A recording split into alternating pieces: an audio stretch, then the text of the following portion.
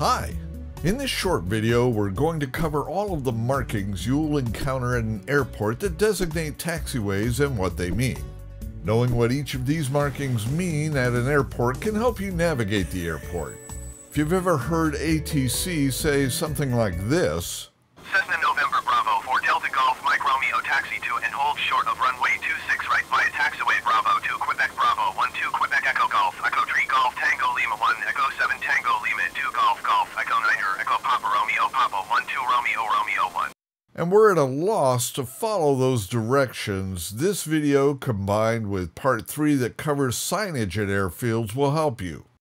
It's a pretty dry topic, so I'll try to keep it as brief as possible. Before we get started, I wanted to point out a feature that you have in the sim that'll help you if you're struggling with navigating the taxiways, and that's the taxi ribbon. You can turn it on under Options, Assistance, Navigation Aids, and Taxi Ribbon. Once enabled, the sim will draw a path for you to taxi using these blue arrows.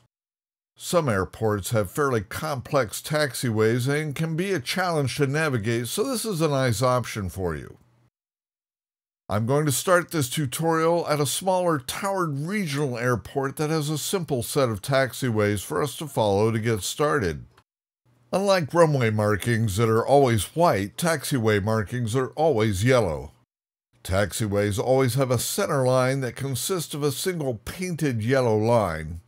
Many airports employ an enhanced center line where a taxiway is about to intersect with a runway that consists of a parallel line of dashes on either side of the normal center line, like this.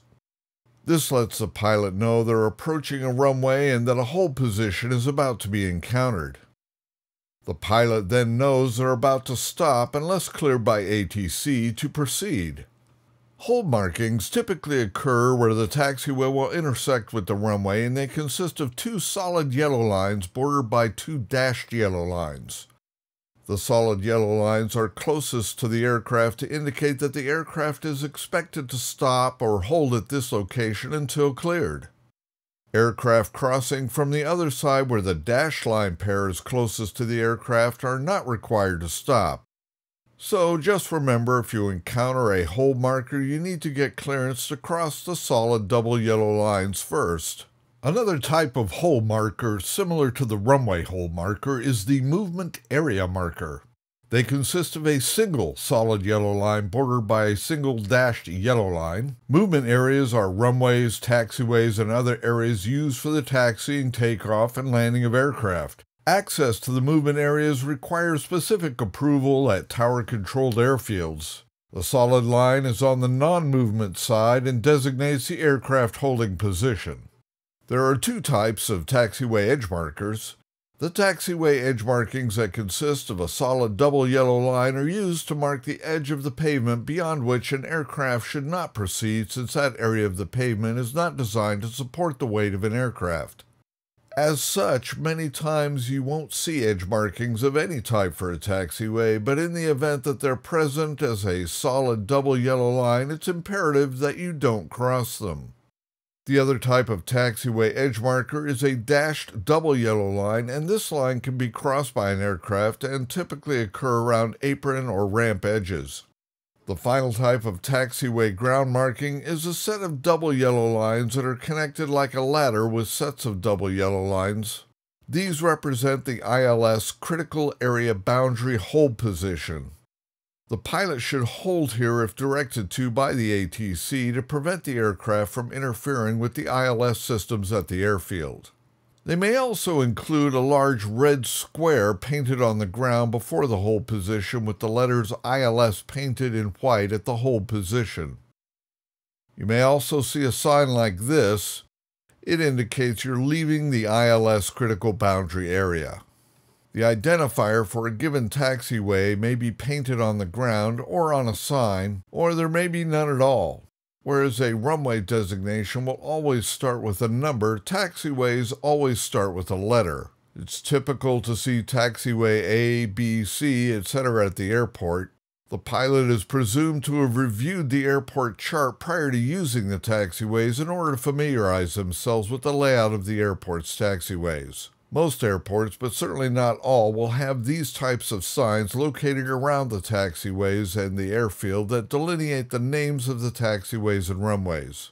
Let's take a close look at the airfield KVNY located in Los Angeles, California. You can get these charts from SkyVector website or the FAA website, links are provided for these in the description. The airport consists of two runways running parallel to each other, Facing south, we have runway 16 right, and next to that is runway 16 left. As we can see by the dimensions provided by the chart for this airfield, 16 right is 150 feet wide and just over 8,000 feet in length. 16 left is half of those dimensions at 75 feet wide and just over 4,000 feet in length. We can also see what the elevation of the airfield is. This is useful for things such as calculating our top of descent. As you can see, the chart is a wealth of other useful information. If we look at the airfield with a drone view, we can see that 16 right has a runway threshold marker of 12 lines, and that matches what our chart indicates for 150 feet. The smaller 1-6 left runway has no threshold width indicator. When this visual indicator is missing, it indicates that the runway is typically 75 feet wide or less. Parallel to the runways are the main taxiways Alpha and Bravo. Taxiways that intersect the main taxiways and lead off into the ramp or apron areas where the hangar, tie down, and maintenance areas are will have the same alpha designation as the taxiway they attach to along with a digit. For example, here we start with alpha 1 and end with alpha 5 and finally alpha alpha. Double letters like alpha alpha hold no significance. They're just taxiway names that the airport designer chose to use. On the other side of the runway pair, we see the name for the Bravo taxiway, starting with Bravo 1 and ending with Bravo 12 and finally Bravo Bravo. What you won't see is mixed alpha names like Alpha Bravo or Alpha Charlie, etc. You'll also never see taxiways named with the letters India, Oscar, or X-ray, as these are considered too confusing for pilots as they might think they are runway numbers or indicate a closed runway or taxiway. Taxiways that intersect the main taxiways and lead into the runway areas of the airfield get their own unique letter designation. As you can see on 16 right, we have Charlie, Delta, Echo, Foxtrot, etc.